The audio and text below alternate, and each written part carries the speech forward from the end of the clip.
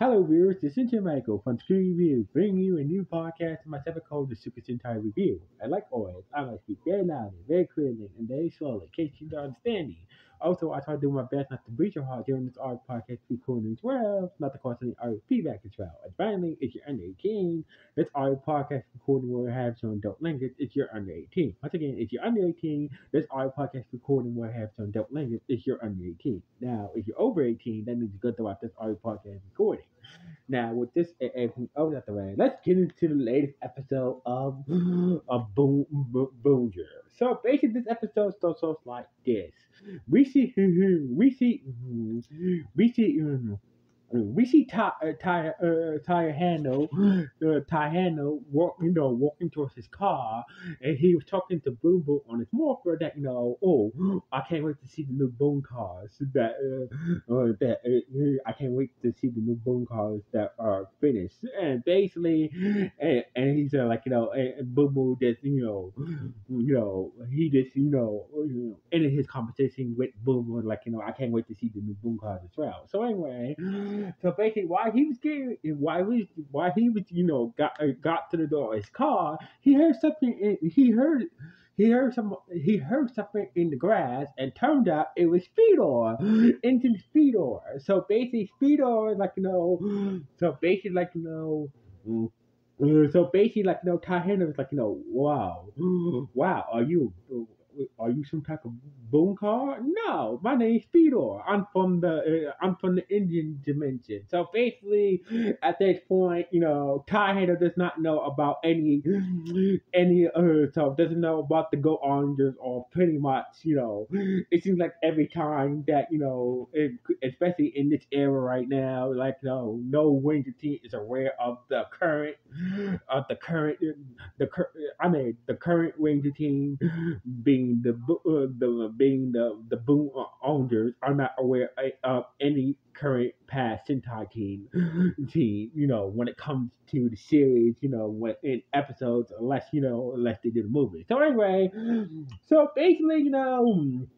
Ty took uh, took uh, Speedo back to the headquarters where Gimba where Gimba uh, where Gimba where Gimba Hishino and Minna was there, but Joe was at work was at uh, you know was, at work whatnot. So basically, Speedo said that you know well was explaining that I'm Speedo. I'm I'm looking for my partner, looking to my partner, and basically you know I used to be part of a Sentai team along with along with my partner and some other humans along with my other fellow, you know, fellow, uh, you know, you know, basically speed up was giving the gist that, you know, I used to be a part of the Sentai team, you know, my partner was part of that same Sentai team as well, blah, blah, blah. So basically, like, you know, so basically, he, according to Speedo, like, you know, I was coming looking for my partner to tell him something, but when I, when I entered the human world, I got hit by something, something that caused, that caused me to, that caused some damage to my engine. So, so basically, I can't. I can't get get back to my usual size. I need Sasuke to help me out fix my soul, so that way I can, you know, get back to my big size. and, you know, I can, you know, and go back to my world. So basically, you know, after hearing that, you know, after the Rangers and Boom Boom hearing that, like, you know, they decided to help the Speedo out and find find his partner being Sasuke. But he he never told him, but but Speedo never told told told told never told the Rangers and Boom Boom Sasuke's name. So anyway, meanwhile, at the police station, you know, at the police station that Officer Joe, aka Boom Black, works at, you know, we see we see a familiar face bringing a lost child to Officer Joe. It was Sasuke, aka aka Go Red. So basically, you know, Sasuke Sasuke, Sasuke explained that, oh, I found this lost boy, you know, uh, you know, so basically I brought it to you. So basically, I hope that you could find his mother and what whatnot. And basically, like you know, Joe was like, "Oh, let's get. Uh, I'll, I'll make sure that this boy finds his mother, finds his mother and whatnot." So basically, you know, you know, and, you know, so basically Sasuke usually, you know, put out his little engine, you know, like uh, his engine Sentai, you know, his coin and like, you know, and pick a direction he wanted to go in you know, heads to right or tails to left, and basically, it was uh, his coin, uh, uh, uh, you know, came up heads, and basically he went the right way. So basically, after after a few seconds, you know, after a few seconds, Joe was talking to the boy, was trying to trying to get his name and whatnot, and basically after that few seconds, you know, Sasuke came back and with the boy's mother, and the boy was like, you know, oh, lucky lucky for my lucky for me and my lucky coin, you know, I bumped into the boy's mother. So basically, like you know, oh, so basically the boy was united with his mother, and that was that, and Sasuke went his way.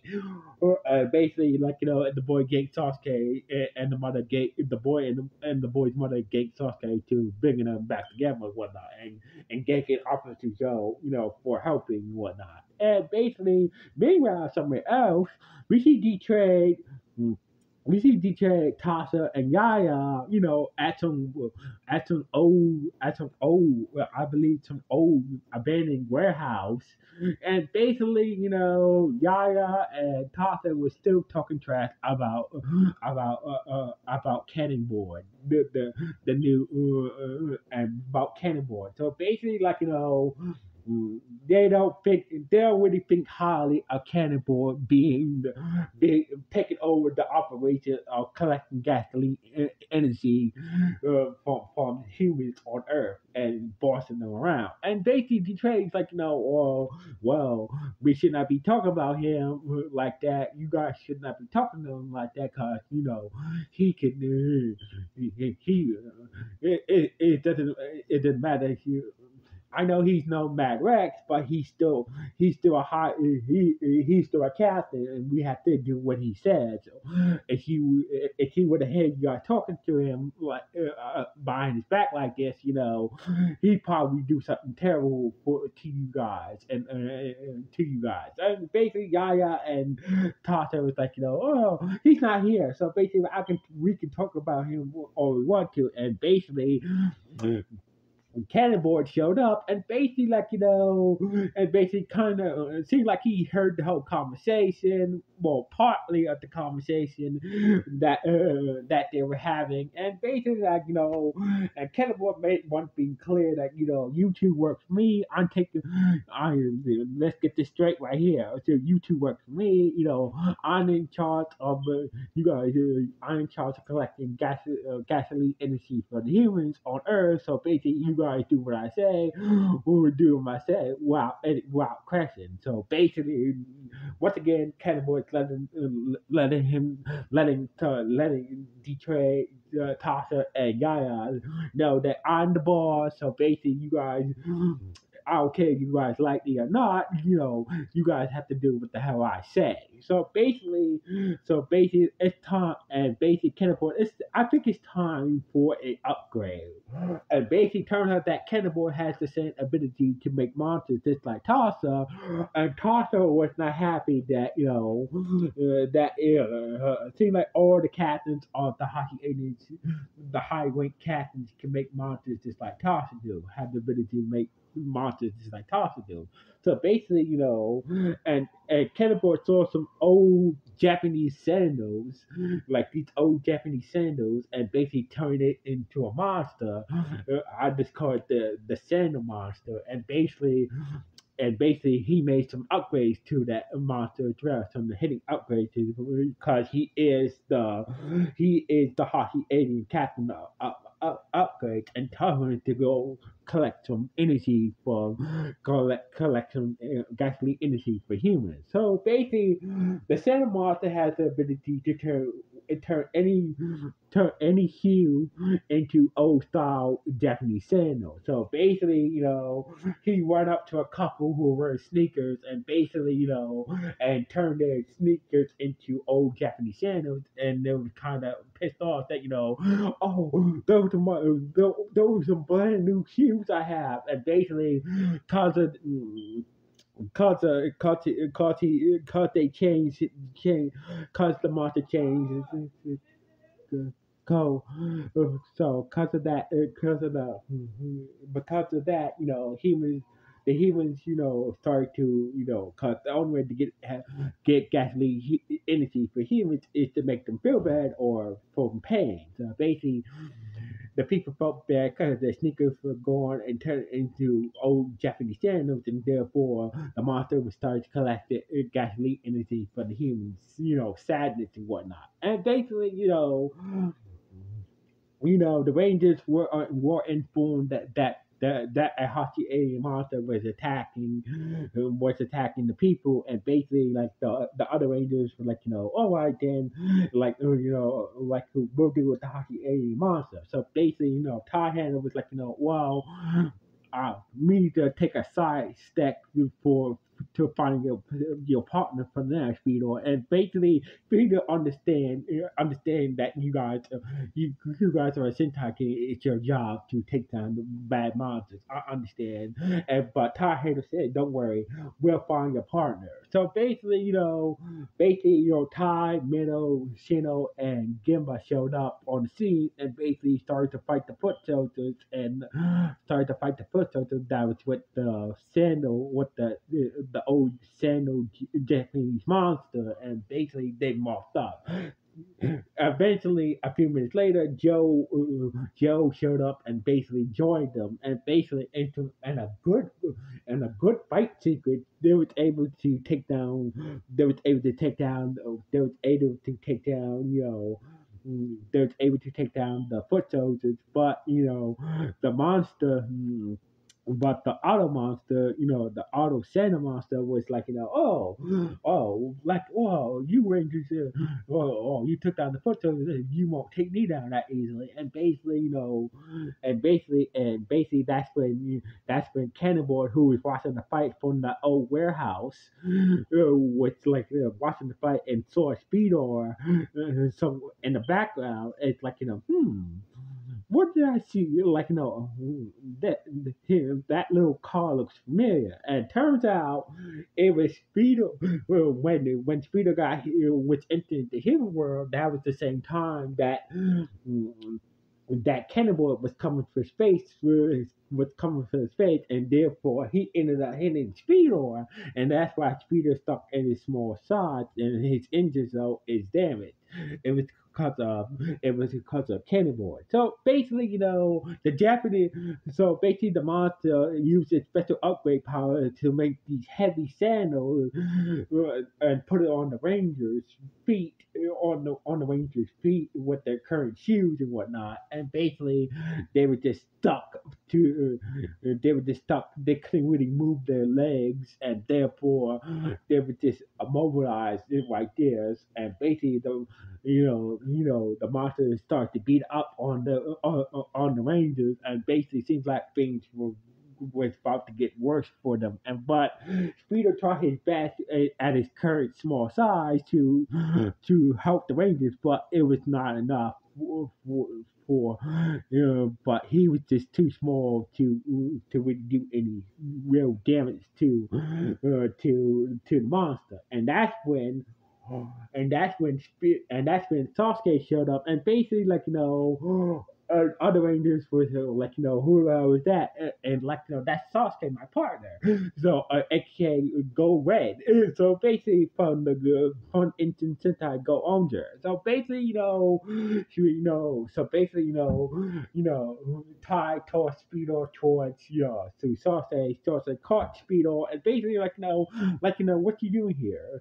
What you doing here? So, uh, what you doing here, Speedo? Well, well, I can tell you that later, but, you know, my but they need some help right now. So basically, you know, Sasuke put Speedo in it, you know, you know, like you know, okay, and basically put out his morpher and transform into his ranger form, and basically summon his Street Saber, and basically a charge towards the monster, but before he was able to attack the monster, you know, Tai was was, was trying to warn him about about the monster's special power to make these heavy sandals and basically immobilize them. But what the monster was able to was able to put heavy sandals on on on on Sasuke's feet as well. So basically, even though so Sasuke being you know, being you know, being powerful and, vicious, you know, being like you know never gets up and whatnot, he would start to move. Even though those tenders weigh a lot, he was like you know he was moving, but he was moving very slowly.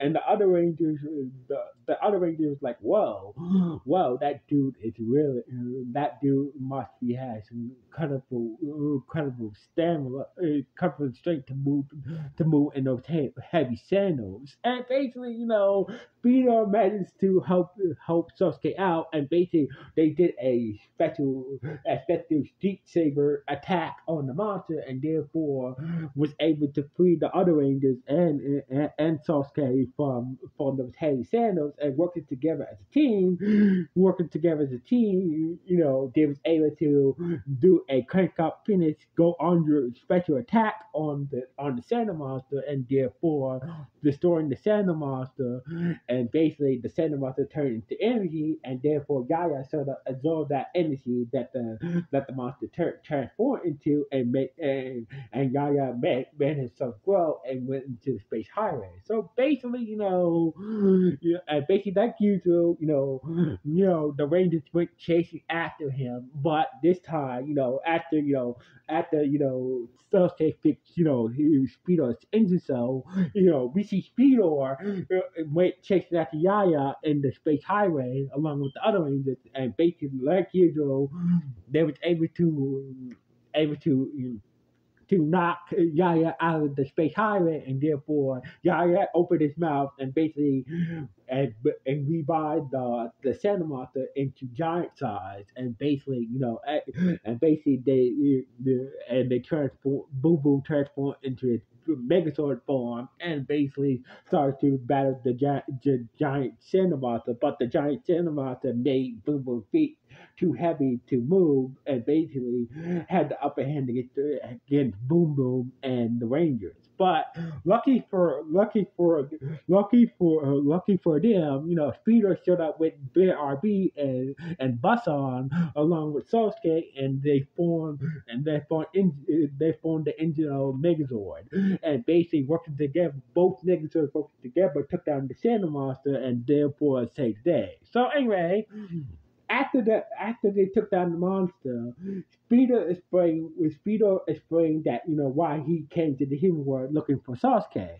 Turns out that Falcon is getting married, and therefore the other, the other, the other go on to are already in the engine world attending the wedding. So basically, Speeder came to come get you. So basically, like you know, well all like, okay, then I'll go with you. Hold on, uh, like you know, and basically he, he so basically you know, Sasuke said like, well, it seems like seems like the it seems like the human world would be in good hands with this current Sentai team. So basically, you know, you know, to, to, you know, giving uh, so so basically Sasuke was getting was giving the Tai and the other Blue Rangers the the funds up to make sure that they keep the human world safe safe and basically you know Sasuke you know he put his helmet back on and hopped into Speedor and they went to uh, so basically Speedor Speedor Speedor Basson and BRB you know headed to the engine world and basically and basically the episode ended on like you know what remembering what what uh, what Speeder said that you know said to said to Tai Handle like you and Boom Boom are partners and basically like you know and we see Tai Handle looking at Boom Boom like you know like you know like you know yeah me and Boom Boom been partners for, for a while he is my partner and basically along with the other Rangers of course and basically that's how the episode ended on this note this was not a bad episode. This was not a bad call. It was good to see Sasuke again. It was good to see it's good to see. It was good to see Spear, and but you know, it's good to see one of the the go on again. But I'm hoping that you know, in a future episode or maybe in a special uh, or in a special movie, we get to see all the go all the go on just come back and team up with the with the Blue Rangers once again. You know, do some you know do you know take down some uh, take down take down some enemies and whatnot. But you know, we just have to wait and see on that. So anyway what do you guys think about what do you guys think about this about, about this uh, about this episode? Were you happy to see Sasuke and, and Sasuke aka Go Red again or or, or Speedor? Please let me know in the comments below. Anyway, anyway, this is Shinji Michael from Scooby View signing off. one.